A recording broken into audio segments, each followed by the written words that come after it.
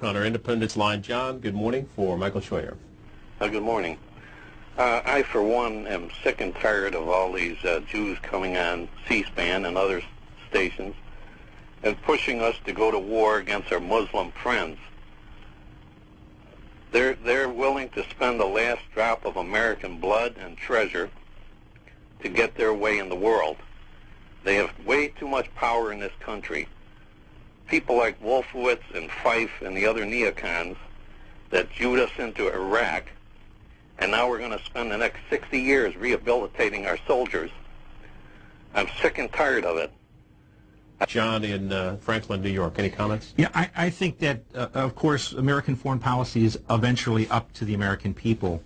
Uh, the, one of the big things that we've not been able to discuss in this country for the last 30 years is our policy toward the Israelis.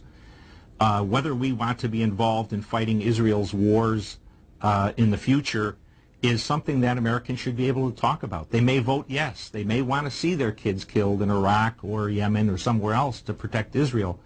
Uh, but the question is we need to talk about it. Ultimately, Israel as a country is of no particular worth to the United States. It doesn't you mean strategic, strategically. We have no, they have no resources we need. Their manpower is minimal. Um, their association with us is um, a negative for the United States. Now that's that's a fact. Uh, what you want to do about that fact is entirely different. But to, for anyone to stand up in the United States and say that our support for Israel doesn't hurt us in the Muslim world, or our support for Hosni Mubarak's dictatorship doesn't hurt us, is to just defy reality. Today I had the privilege of welcoming the Prime Minister of Israel, Benjamin Netanyahu, for his second visit to the United States Capitol. You know, the American people consider Israel our most cherished ally, and we her closest friend and guardian. As we met, Israel lives under the shadow of a, of a threatening neighbor seeking nuclear weapons. But remarkably, this administration seems intent on focusing on a controversy over construction in undisputed areas of Jerusalem instead of the threat of a nuclear Iran. As I just told the Prime Minister, I never thought I'd live to see the day that an American administration would denounce the state of Israel for rebuilding Jerusalem. If the world knows nothing else, let it know this America stands with Israel. As the President meets with Prime Minister Netanyahu today, I urge the President to stop all this talk about settlements in Jerusalem and start focusing on isolating a threatening and menacing and rising nuclear and has Iran. expired. The American people and the American Congress in both parties support the state of Israel. Shalom, Israel Republicans. I'm Governor Mike Pence. It's a great honor for Donald Trump and I to stand together with you tonight in support of Israel. And I'm deeply humbled to be speaking to you at this historic time and with all of you there in that special holy place of Jerusalem, the eternal home of the Jewish people. Over the course of this campaign, many people have asked me why our ticket stands so strongly with Israel. Donald Trump and I stand with Israel because Israel's fight is our fight, because Israel's cause is our cause. We stand with Israel for the same reasons good people everywhere stand with Israel. We stand with Israel because her cause is just, because her values are our values, and because her fate is our fate. Israel is not just our strongest ally in the region. As I've said for so many years, Israel is our most cherished ally in the world. Currently, Israel lives under the ominous shadow of a threatening neighbor who seeks to wipe her off the face of the earth. Yet Donald Trump and I understand that Israel is not hated by her enemies for what she does wrong, but rather for what she does right. Like the United States, Israel is hated by terrorists and the failed states that support them. She is hated by too many progressives because she is successful and her people are free. As Israel takes the curses, the slanders, and lies of the world and turns them into blessings, the real question is how could any good person not stand with Israel? Let the word go forth from Jerusalem, the eternal, undivided capital of the Jewish people and the Jewish state, that Donald Trump and I are proud to stand with Israel. The American people are proud to stand with Israel. And should Donald Trump and I have the privilege of serving this great nation, if the world knows nothing else, the world will know this America stands with Israel. And this may be you don't want to hear. I don't know. And I certainly don't want to hurt you on your show. You have one of the best. You're fair. But I believe that Israel has a powerful stranglehold on the American government. They control both members of the House, the House and the Senate. They have us involved in wars of which we have little or no interest.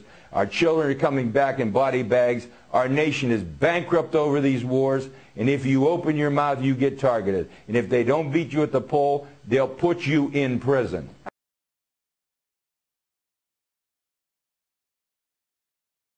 Good to see you again.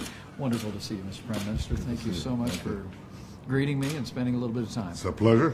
Uh, from my 12 years on Capitol Hill, uh, from my two years uh, leading the great state of Indiana, I can say that uh, support for Israel in the United States has never been stronger. Uh, and the strong and broad bipartisan support uh, for the state of Israel, I know will be reflected in decisions that our Congress makes in the months ahead Uh, to uh, preserve uh, the support the United States provides to Israel, to ensure that Israel is able to enter into negotiations uh, to achieve defensible borders uh, and, uh, and, and secure its own peace and security in the years ahead.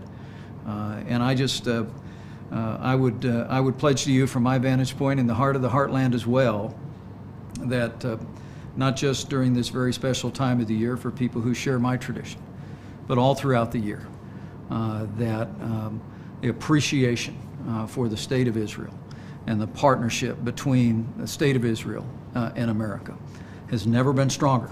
Uh, and from the heart of the heartland, I say thank you. Thank you for your leadership and thank you for welcoming us back to this great country. And if the world knows nothing else, it will know this America stands with Israel.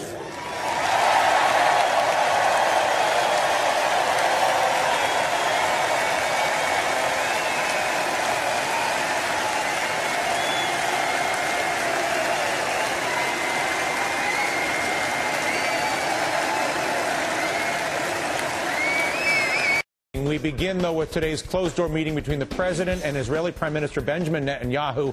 Uh, just over an hour from now, the two leaders are going to discuss Israel's decision to build housing units in East Jerusalem, an area Palestinians want as the capital of their proposed state. These developments seen as a direct provocation uh, in this debate. The Obama administration opposes this development. Netanyahu, however, will not budge. The Jewish people were building Jerusalem 3,000 years ago, and the Jewish people are building Jerusalem today. Jerusalem is not a settlement, it's our capital. Well, this international dispute has now become a domestic political issue here in the U.S. Take a listen.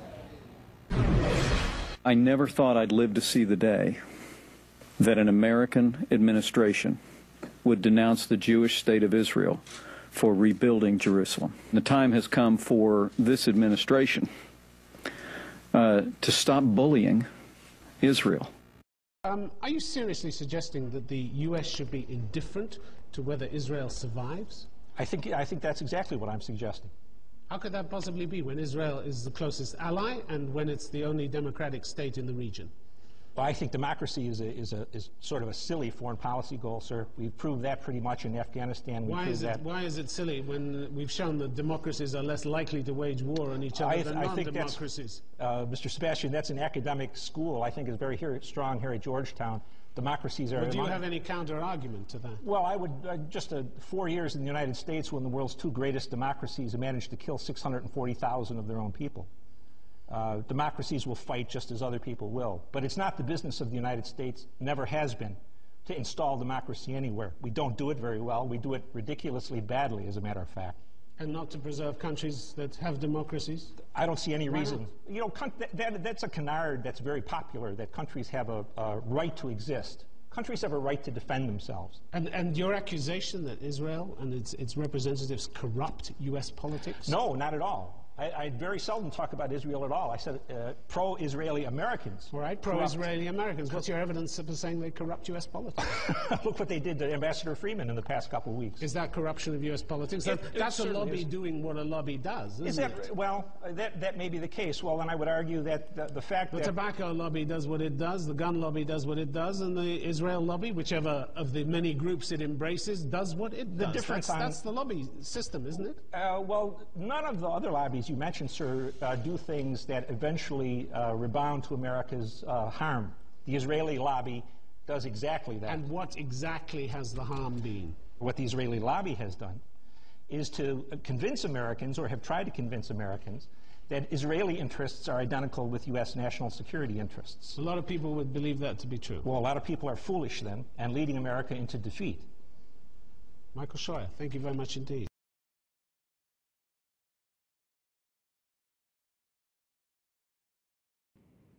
I love Israel.